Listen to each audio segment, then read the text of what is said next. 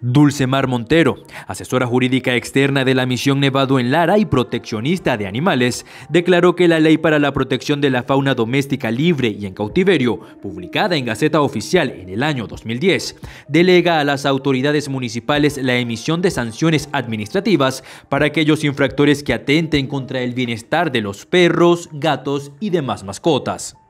En el caso de Lara, apenas dos municipios tienen ordenanza para la protección de la fauna, Iribarren y Crespo. El Estado Lara ha, estado en, mora con ponerse al día con esto, pero en cuanto a los otros municipios, pero por ejemplo Lara, eh, eh, Iribarren, tiene del 2013 una ordenanza que ya está para actualizarla, pero, pero este, lo que pasa es que eh, vamos a decirlo así, no, no se ha puesto el interés, pues por tantas cosas que pasaron, nos vino la pandemia y todo eso, y no se ha puesto el interés en actualizarla, pero es la que tenemos a mano y es con la que nosotros agarramos y nos, algo así como que nos guindamos de ese hilito para entonces rescatar a los perritos, la Defensoría contra el Maltrato Animal para poderlos sacar de donde los tienen maltratados.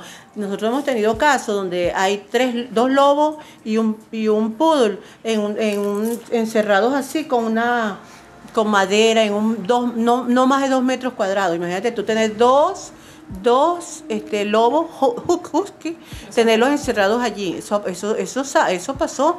Entonces, eh, no, en la sala, donde hay niños también, esos perros necesitan espacio. Esos perros se pueden volver agresivos. Hay que aplicarles la ley, como que hay que meterse con el bolsillo de la persona y con, ah, bueno, entonces vas preso.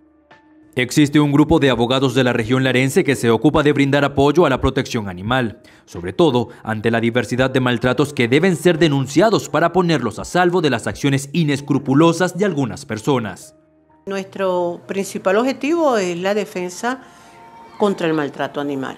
Maltrato animal en sus diversas maneras, porque no solamente maltratar es pegarle, sino maltratar es no cuidarlo cuando está con una enfermedad, no prestarle la asistencia médica necesaria, eh, tenerlo llevando solo de vigilante, cuidando un techo, cuidando un edificio, cuidando una casa. Ahorita que está muy en boga que la gente se va y deja las casas solas. Entonces, este, dejan los perros y que los vecinos le echen comida. O que venga uno una vez al mes a echarle comida donde no tienen agua. Eso también es maltrato. Maltrato también es no llevarle un protocolo de vacunación. Maltrato es igualmente sacar un perro a la calle, en este caso este, un perro grande, y no cuidarlo porque este, que no vaya con, con su paseador de allí que el equipo jurídico y de proteccionistas planteen una reforma en la ley vigente, en aras de que se tipifiquen los delitos de maltrato animal, para no pasar por alto los abusos más graves y se apliquen penas condenatorias. Un, grupo de abogados que estamos en pro de una nueva ley, una, ley, pero en este caso una ley penal. Porque ¿qué pasa con las leyes que tenemos ahorita? Primero, en primer orden, eh, la Constitución habla de la, de la protección de la biodiversidad y en ella incluimos a, los seres que son seres vivos, pues los animales. Entonces, este, se ha, no se ha legislado adecuadamente y atendiendo al principio de progresividad de las leyes, que las leyes tienen que adaptarse a las circunstancias de modo, tiempo y lugar en que vivimos, en que estamos, en que se necesita una ley.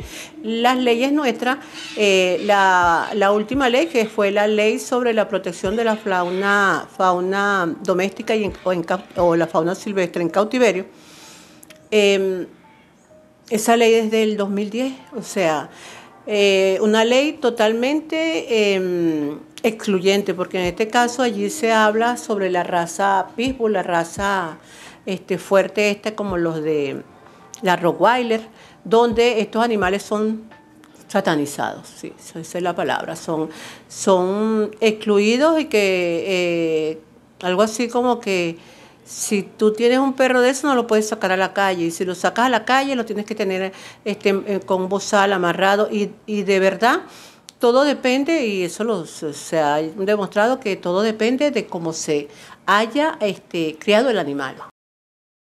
Finalmente, exhortó a las personas a que denuncien los casos de maltrato animal ante la Oficina de Defensoría de Protección para estos casos. Le decimos a las personas que hay una defensoría contra el maltrato animal, donde están la doctora Cristina, la doctora Maribel, en la calle 37 con la carrera 13 al lado del 6CPC. Allí pueden llevar sus denuncias y el denunciante no es parte en el proceso. O sea, la gente tiene miedo de que me, me da miedo porque no, no es un vecino, es el de al lado. Yo le digo a las personas que tengan miedo. Uno con el miedo no, uno no, no, no puede tener miedo de algo que, que, uno está haciendo y que verdad lo hace con fe. Pero bueno, si le da miedo, entonces de todas maneras ahí no se le va a decir, la gente dice, ¿quién me denunció? Eso es anónimo. Puede ampliar estas y otras informaciones visitando nuestro portal web www.laprensalara.com.be.